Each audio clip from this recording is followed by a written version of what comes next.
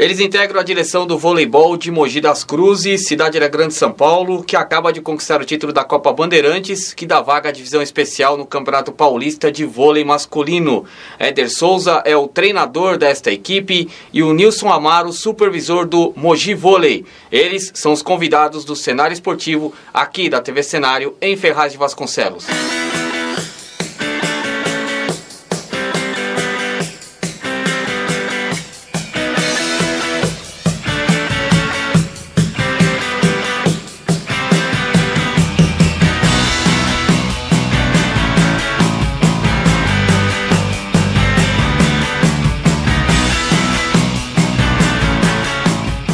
Os convidados de hoje do cenário esportivo aqui na TV Cenário em Ferraz Vasconcelos são Éder Souza, técnico da equipe do Vôlei Mogi, e o Nilson Amaro, supervisor. Éder Souza tem 31 anos de idade, é credenciado aí a prática e o exercício do voleibol e também a questão de, do ensinamento, enfim, se especializou nessa área. E o Nilson Amaro é o supervisor da equipe. Gostaria que vocês contassem um pouquinho a história de vocês é, na modalidade, como é que surgiu o interesse no voleibol.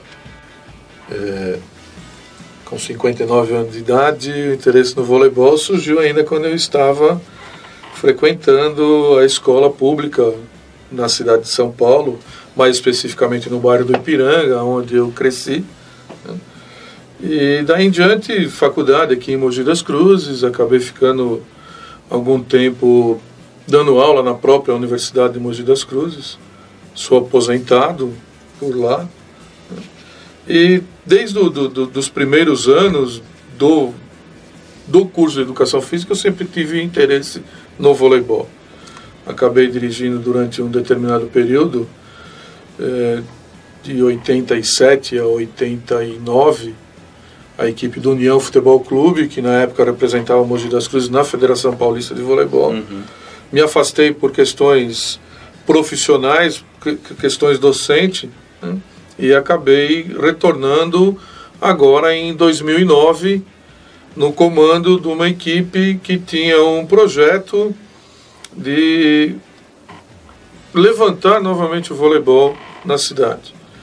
Em 2012, numa conversa com a Secretaria de Esportes, resolvemos transformar uma equipe adulto de veteranos em uma equipe sub-21. Nesse ano eu comandei essa equipe e em 2012 eu trouxe o Éder de São José para vir treinar uhum. a equipe aqui de Mogi. É, gente, nós nos conhecemos durante a competição de 2012, né? 2012, a competição foi a primeira competição sub-21 e em um, em um jogo que nós fomos, eu fui fazer lá em São José, eu conversei com o Éder se havia interesse dele. Ele está mudando de áreas, se está vindo respirar os ares de Mogi das Cruzes. E a princípio a gente ficou sem uma definição, mas logo no início de 2013 a gente conseguiu trazer o Éder para Mogi, uhum. o que muito ajudou no, no progresso dessa, dessa equipe, com essa é, rapidez na conquista daquilo que a gente conseguiu. Certo. Éder, você é, passou um breve currículo, né? Você é formado em educação física e especialista em voleibol. Como é que é, surgiu o vôlei, o interesse? Foi igual o Nilson também? Ainda no curso você já desenvolvia a, a vontade de trabalhar mais especificamente na área do vôlei? É, sim, o despertar aconteceu ainda na fase escolar e eu fui formado nas categorias de base do ABC, já em treinamento específico de voleibol.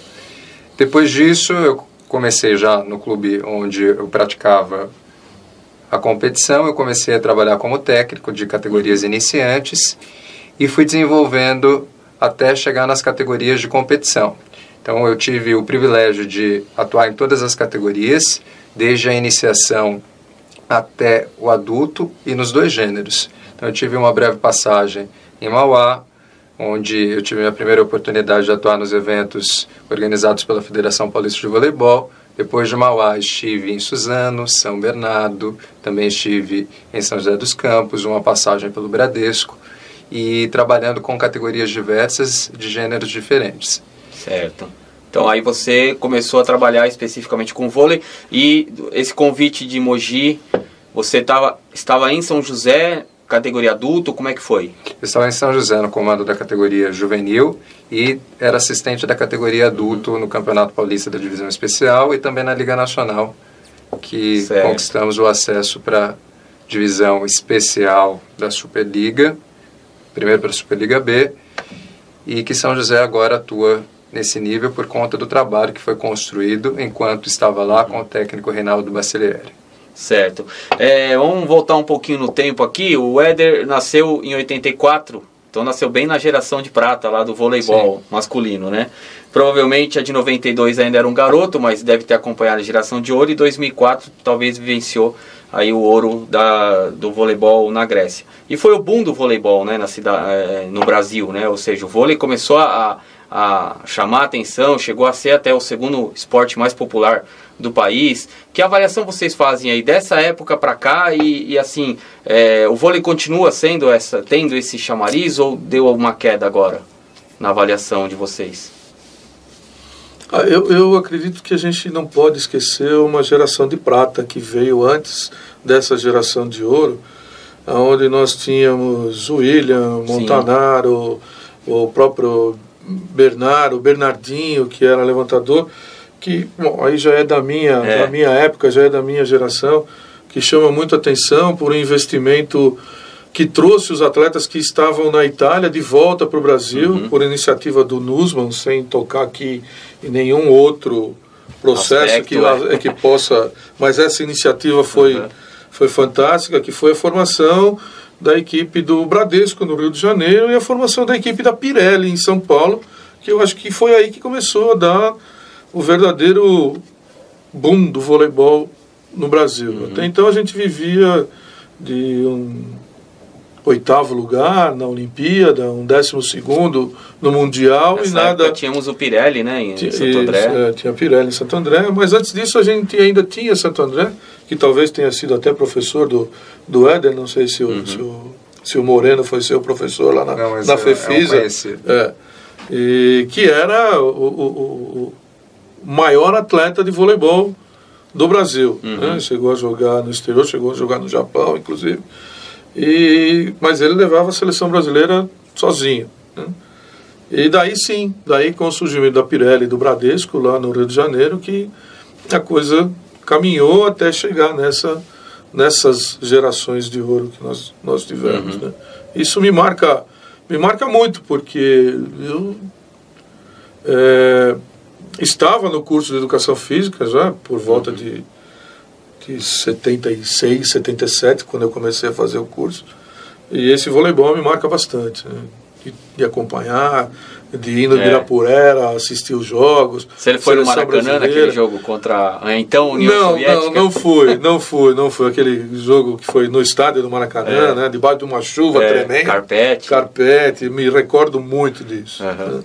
Verdade. É. E o Éder já é da geração de ouro, né, Éder? Já pegou essa geração mais recente. Mais recente, né? É, e o que me marcou muito no voleibol foi em 1996 com as meninas do voleibol, uhum. com a conquista do bronze é, visto aquela rivalidade entre as brasileiras e as cubanas, Sim. isso marcou bastante uhum. o meu olhar no voleibol.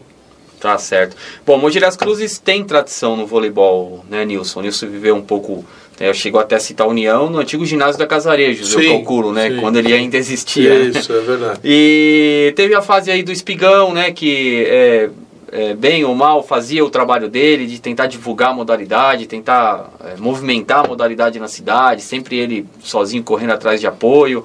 Enfim, é, que avaliação que vocês fazem do vôlei de Mogi, é, desse histórico do vôlei de Mogi?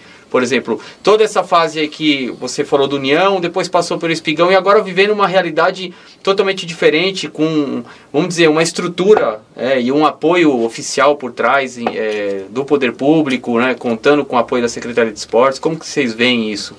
Ah, eu comecei a vivenciar o voleibol de Mogi das Cruzes a partir de 1982, quando o professor Benê Aguiar, que deve dar aula ainda hoje lá no, no Industrial, lá em Mogi, uhum é, me convidou para ser assistente dele em uns jogos que foi realizado, uns jogos regionais em Osasco. Aí em diante que eu comecei a vivenciar o voleibol de Mogi. É, o Benê Aguiar tem uma grande parcela nesse voleibol. Voltando um pouquinho atrás, o que eu não vi porque eu não estava em Mogi, não, não, não nasci aqui em Mogi, então não pude acompanhar, mas pelo que me contam, o professor Hugo Ramos, já falecido, o professor Wilson Nogueira, também falecido, e o próprio professor José Carlos Miller da Silveira, o Tuta, que apesar de ser um, uma referência no basquetebol, também nessa época jogava voleibol e fazia uhum. esse, esse trio. O professor Una, que está em Pindamonhangaba ainda, certo. que também é mogiano, eles é que começaram com, uhum. com o esporte aqui em Mogi. E aí depois passou por uma, por uma série de é, desencontros, vamos dizer assim, né? até chegar no Espigão, que fez um ótimo trabalho. Um trabalho que não pode ser nunca esquecido, uhum. né? o trabalho que o Espigão fez. Talvez assim, não buscando o mesmo profissionalismo que a gente busca, né?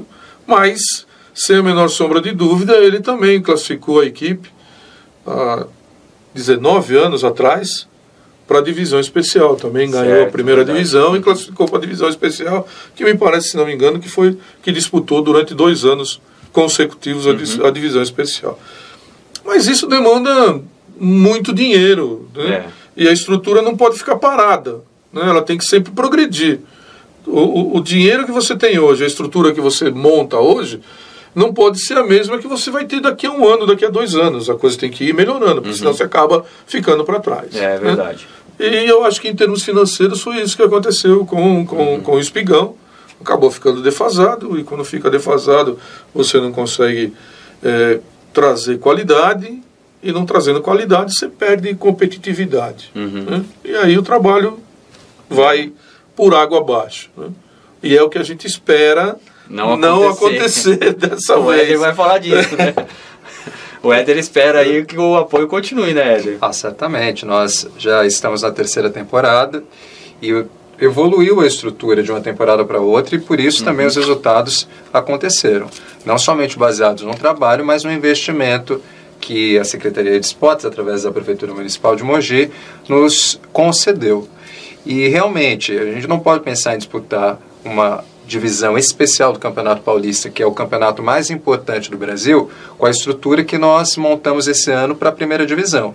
Então, o que nós aguardamos é uma definição realmente do que nos espera uhum. em termos de investimento, de apoio, para que nós consigamos progredir neste trabalho e manter a qualidade, que é o mais difícil. Então, a qualidade ela começa na estruturação da equipe. E nós estamos trabalhando dia a dia para que isso aconteça de forma natural. Tá certo. É, Monte das Cruzes tem muita tradição no basquete. É, a gente percebe que o Mogiano gosta do basquete, lota o ginásio quando tem jogos decisivos. O União chegou a atrair alguma, alguma atenção um tempo atrás, agora já perdeu um pouco o encanto, muito pelos bastidores do clube do que propriamente da, dos resultados em campo, né? É, vocês acreditam que é, o Mojano gosta de esporte e, o vôlei pode tentar conseguir também essa parcela de, de adeptos, de torcedores? Vocês acreditam que esse projeto que está aí é, começando a engatinhar, pode daqui um tempo, que o, o, o, basquete tem praticamente quase 20 anos aí, né? Mais de 20 anos, enfim. É, vocês acham que o vôlei pode chegar a alcançar esse, esse, esse patamar aí de ser um um esporte que a, que a cidade abrace também, como aconteceu em Suzano, por exemplo? Ah, eu, eu, eu acredito que sim, porque numa, numa população de 500 mil habitantes, não é possível uhum. que todos gostem só de basquetebol. Eu acho que tem, tem o público do basquetebol, como tem o público do futebol, como tem o público do futebol de salão, que também hoje disputa a divisão hoje disputa, especial. É verdade. Né?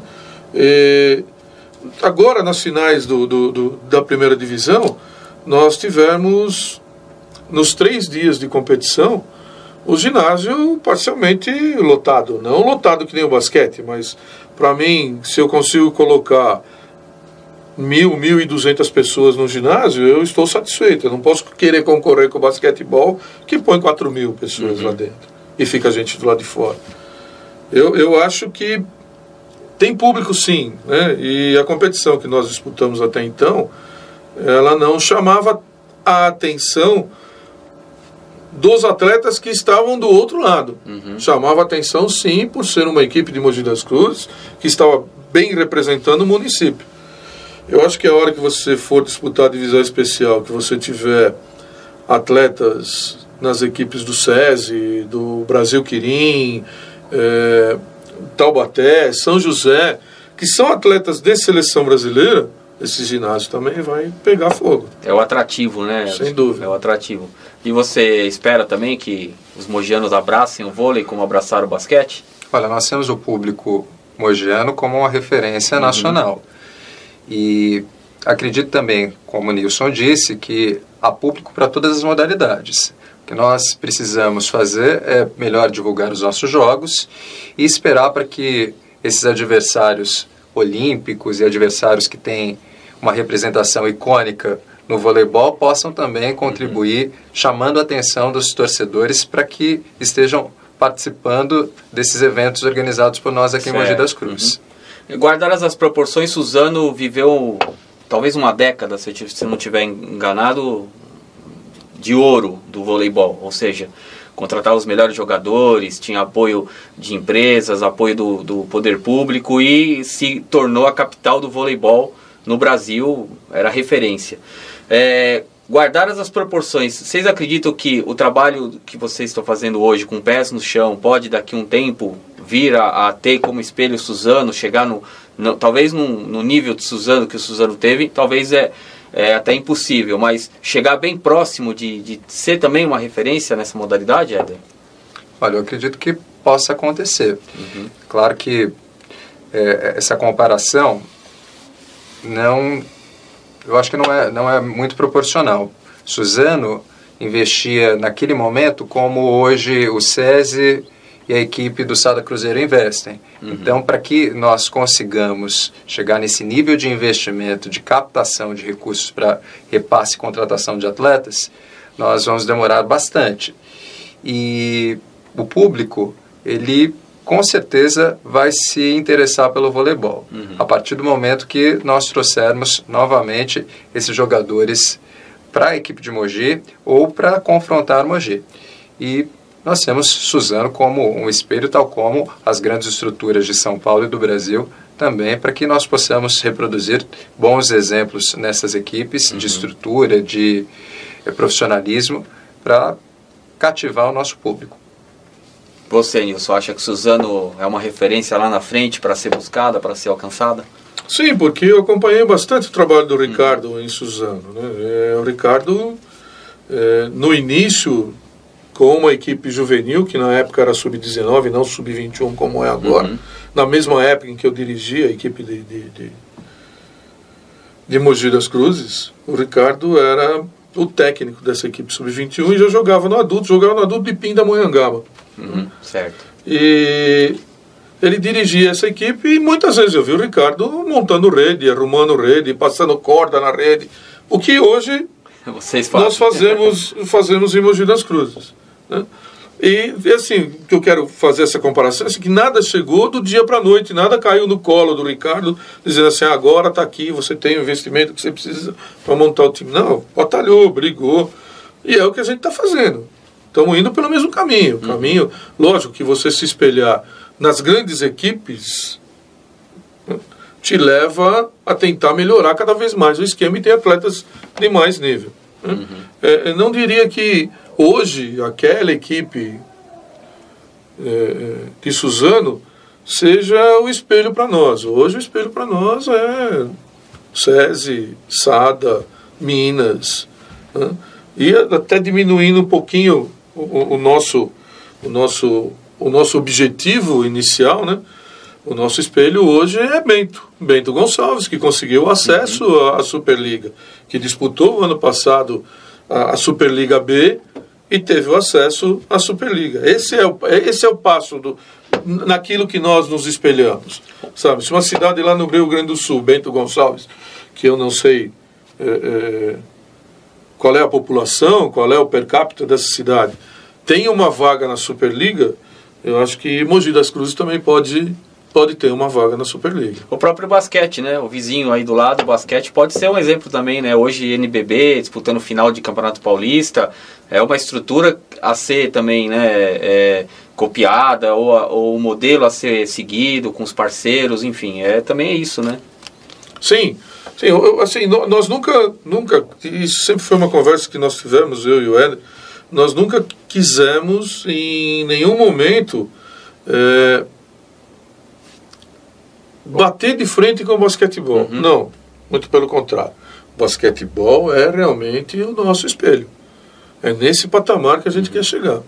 E para chegar nisso, a coisa tem que ser gradual. Degrau por degrau, porque se você quiser subir dois de uma vez só, você pode, é, pode, cair, pode cair, e aí não tem retorno. É, e né? perder os 10 que já é, subiu. É, né? E aí não tem retorno. Verdade. Vocês falaram rapidamente de sucesso, daqui a pouco a gente vai falar de sucesso porque conquistaram a Copa Bandeirantes, uma vaga para a divisão especial do vôlei, aí a conversa muda, aí tem que sentar lá com o pessoal do poder público, com os patrocinadores para poder melhorar essa estrutura. A gente vai para um rápido intervalo, daqui a pouco voltamos para falar com Éder Souza, técnico do Vôlei Mogi, e com Nilson Amaro, é o supervisor da equipe, para falar um pouquinho dessa conquista e os planos para finalzinho dessa temporada e também em 2016, já que vem divisão especial por aí.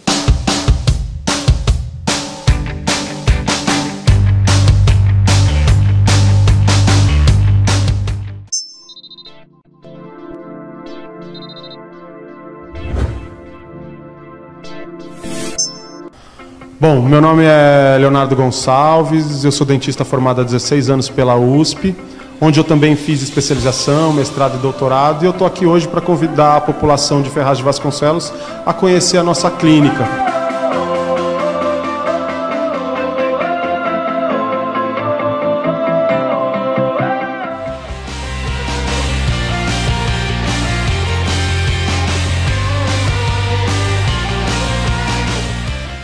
Estamos de volta com o segundo tempo da, do nosso programa Cenário Esportivo aqui do estúdio da TV Cenário em Ferraz Vasconcelos. Nossos convidados, o Éder Souza, técnico da equipe do Mogi Vôlei, e o Nilson Amaro, supervisor deste clube. Antes da gente falar de sucesso, vocês é, falaram aí que o projeto começou é, em 2013 e a partir de que momento foi o start desse projeto? Por exemplo, é, local para treino, contratar jogadores.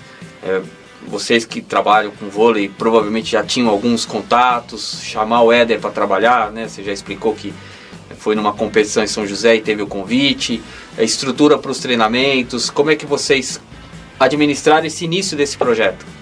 Na realidade, esse projeto começou em 2012, uhum.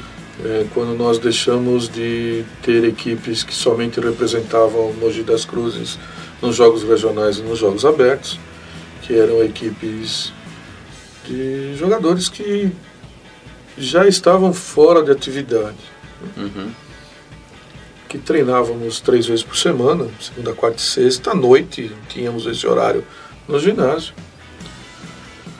E passamos a ter uma equipe sub-21, onde eu realizei uma peneira no começo de janeiro e acabei selecionando 12 atletas e com esses 12 atletas a gente levou o início desse projeto até o final do ano. Como certo. eu disse, no segundo semestre, quando nós fomos fazer o jogo de volta lá em São José dos Campos, durante o aquecimento, os nossos preparadores físicos trabalhando a equipe, nós trocamos uma ideia uhum. de qual a possibilidade de ele estar indo para Mogi e tal.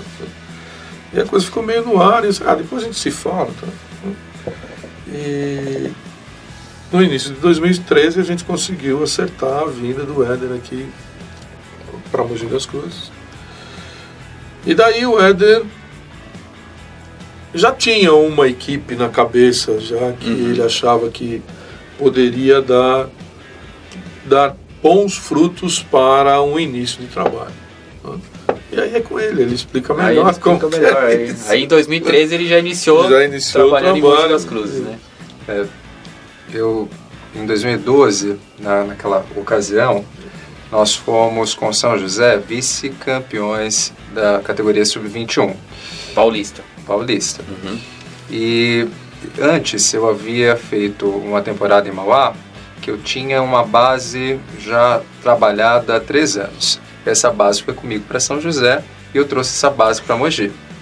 Então facilitou bastante no início do trabalho aqui em Mogi das Cruzes, porque era uma equipe que atletas que eu conhecia bastante e outros que trouxe porque tinha alguma referência da competição, vi eles durante a competição. Uhum.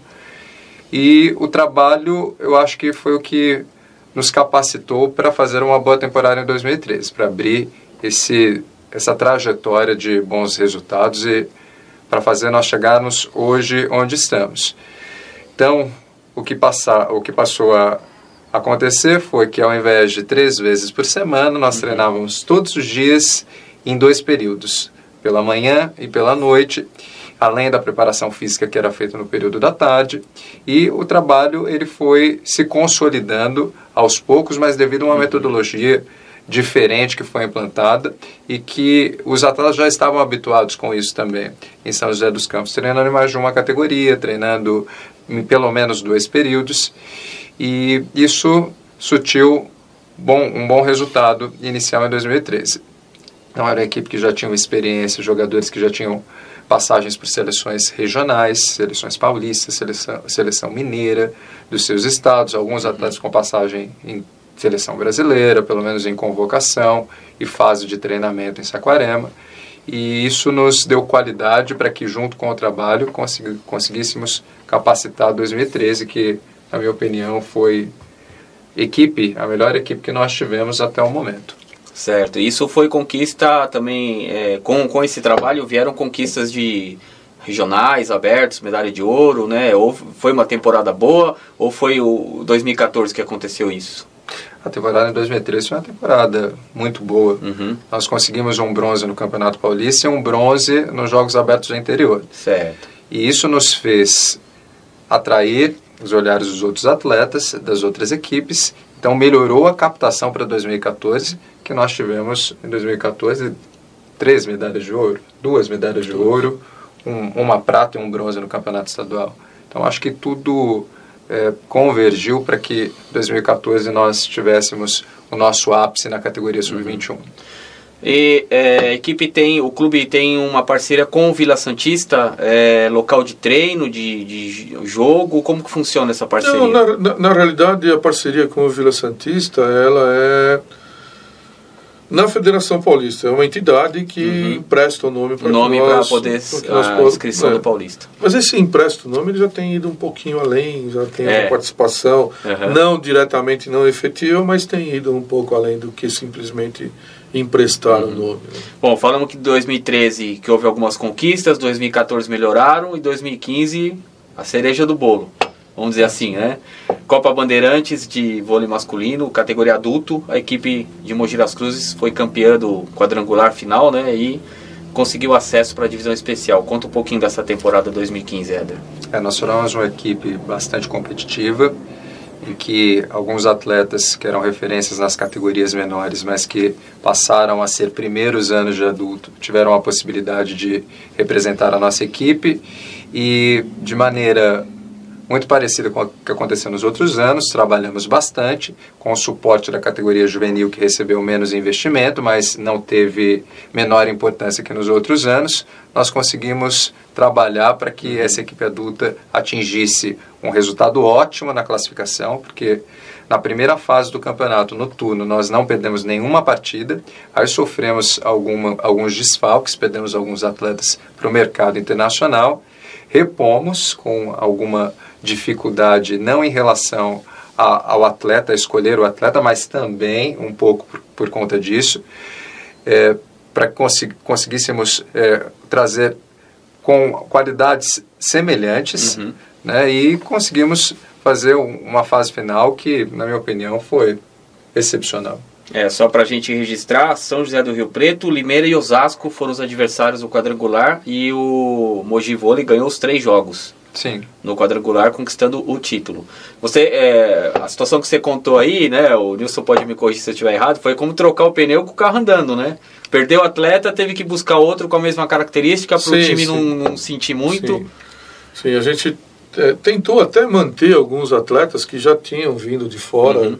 do Brasil que estavam com propostas, de fora, mas não tem, não, não tem como isso acontecer, né? Não dá para competir. Não dá para competir, né? A gente tem escutado aí de alguns outros atletas que também estão para acertar é, contratos fora do Brasil, coisa de 10 mil dólares pela, pela temporada. Então isso 10 mil dólares é quase que o nosso orçamento para a equipe toda. é. Complicado, né? É, complicado. É, Sub-21, você também trabalha no Sub-21, na verdade, né? E é uma equipe que te auxilia nesse adulto, né? Ou seja, você às vezes faz uma, a composição de alguns jogadores para formar esse elenco do, do, adulto, já preparando eles? Sim, é... nós não temos orçamento para ter uma equipe adulta com 12 adultos. Uhum. Então nós nos aproveitamos do Sub-21. É uma troca, porque eles adquirem né? experiência, eles conseguem compartilhar bons momentos com atletas mais velhos, então para o crescimento do atleta, para a formação técnica e tática do atleta é muito importante. E esse sub-21 ele dá o apoio para que o adulto consiga melhor treinar e para que seja capacitado para as competições. Entendi. Então é uma equipe mista de esse, atletas esse... jovens e primeiros anos de adulto. E esse sub-21 segue em competição ainda? Segue em competição. Como é que está a situação hoje, de momento, nesse comecinho do mês de novembro? Nós estamos disputando de quinto a oitavo no Campeonato Paulista. Não tivemos um, uma boa performance na fase de classificação, mas a equipe evoluiu mais no segundo semestre e a gente espera que tenhamos um término bom é, diferentemente da Copa Bandeirantes, não desmerecendo a conquista do vôlei de Mogi das Cruzes, o Sub-21 é o estadual da categoria e pega os times grandes também, né? Sim. Não, tá, não tem uma divisão de, sé, é, de, de séries aí. Não, por dois anos nós ficamos em terceiro lugar e inclusive em 2014 nós tivemos uma medalha de prata na Copa São Paulo, que é um campeonato que acontece após o turno uhum. do Paulista Sub-21.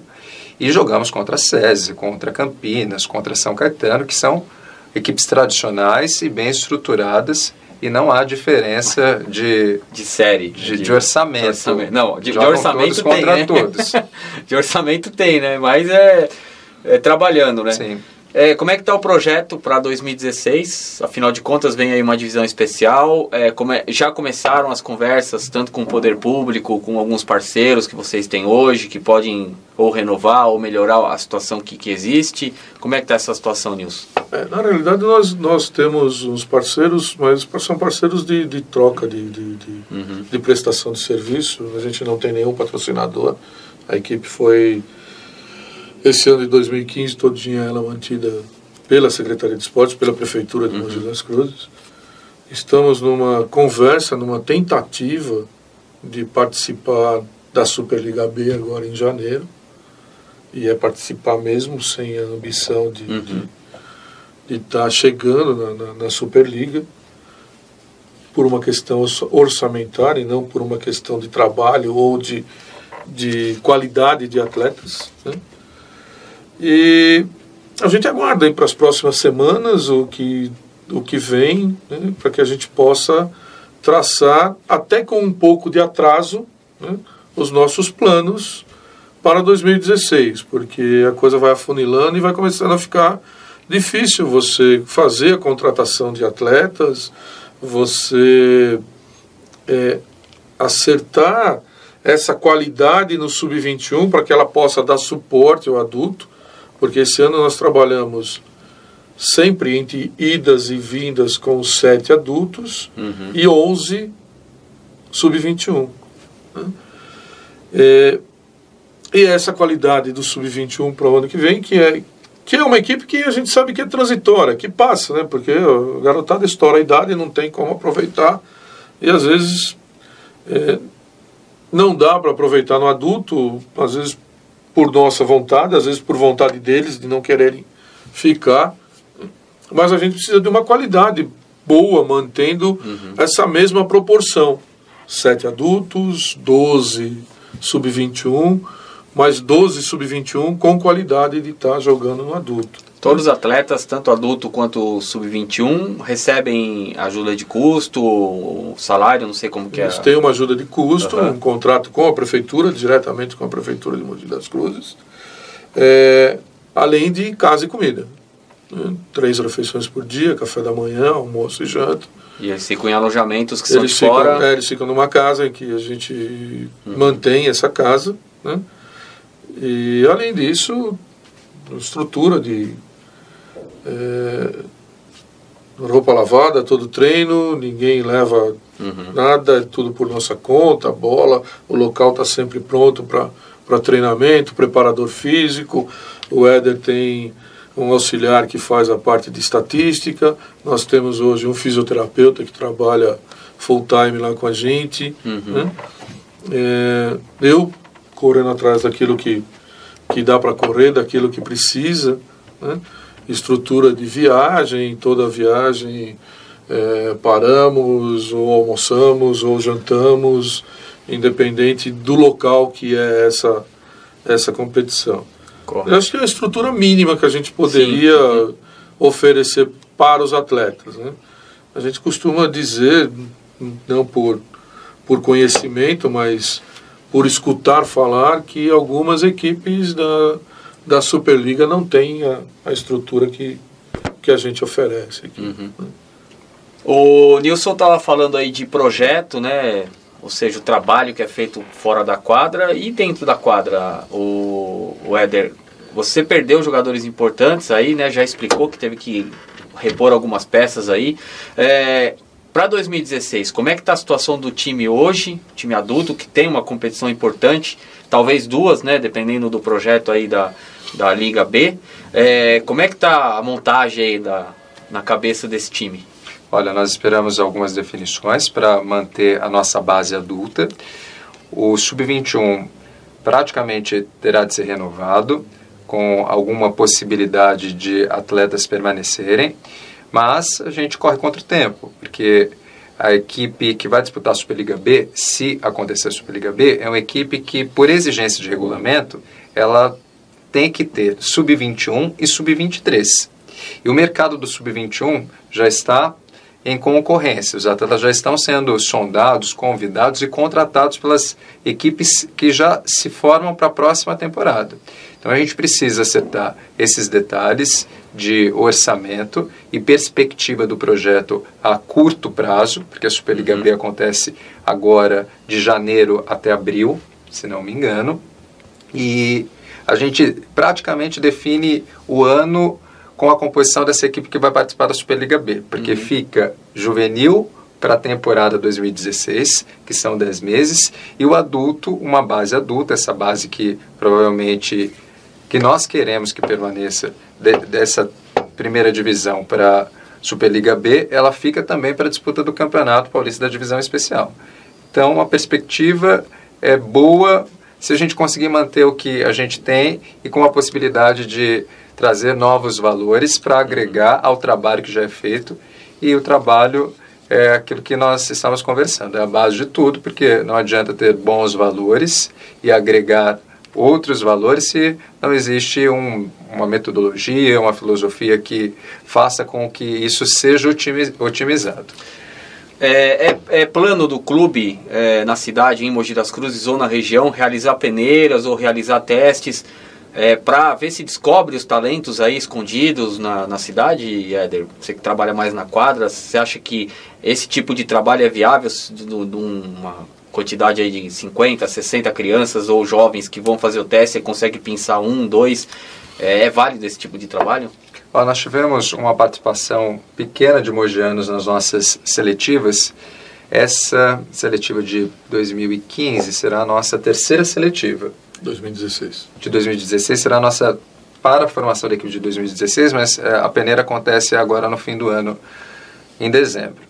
E nós tivemos uma participação pequena de mogianos, mas é, nós já temos um atleta que apareceu de uma escola, que é um um atleta que tem muito potencial, que nós estamos trabalhando para que ele possa compor a nossa equipe sub-21. O que nós precisamos é de mais investimento para que nós tenhamos a possibilidade de formar um processo em Mogi. Não uhum. tem processo, ou tem o fim do processo de formação de atletas, que culmina na categoria sub-21 e nessa transição para adulto. O que a gente sonha em fazer é ter um infanto juvenil e ter um infantil de Mogi das Cruzes para que a gente consiga capacitar esses meninos para que eles cheguem com um bom nível de formação e de competição no sub-21.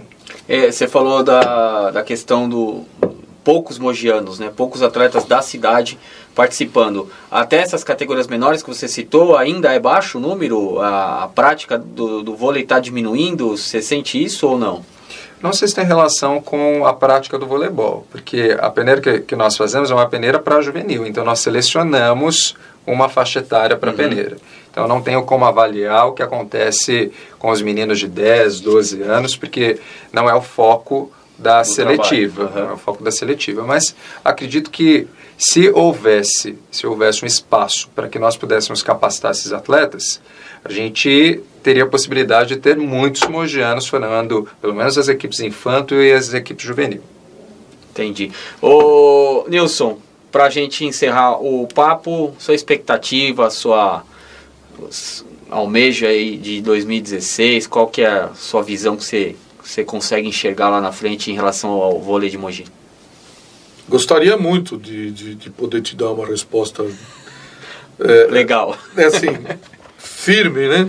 Mas eu gostaria de poder ter esse investimento, uhum. não só da, da, da Secretaria de Esportes, que a gente sabe que com o passar do tempo isso vai diminuindo cada vez mais, porque é dinheiro público, né? e a gente está num país que sofre tantas outras, tantos outros problemas gerais, né? e que acaba sempre refletindo no esporte, é o primeiro lugar que se tira dinheiro para poder tentar resolver os outros, sem entrar no mérito também da onde vai esse dinheiro, porque não é problema nosso nesse momento. Né?